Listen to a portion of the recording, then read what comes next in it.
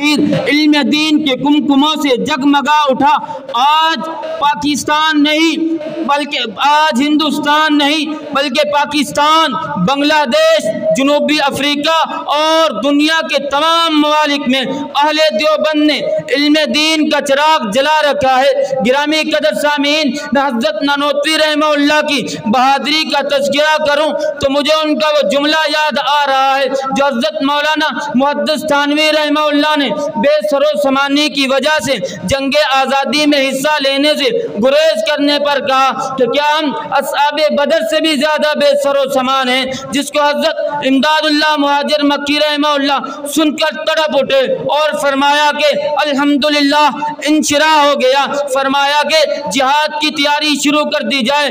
और हज़रत नानोतवी रहमल्ला को उसका सिपा सलार बना दिया। फिर हज़रत नानोतवी रहमल्ला ने ऐसा नज़म तश्कील दिया, ऐसे जानिसार अफराद तैयार किए, जो आज दुनिया आलम के चमकते दमकते सितारे हैं, फिर मैं आखिर में बस यूँ ही कह के इजाज़त चाहूँगा कि चमका करेगा चार सूना नोतवी का नाम, चमका करेगा चार सूना नोतवी का नाम, पैदा किए जिसने फिदायान मुस्तफ़ा वसलाम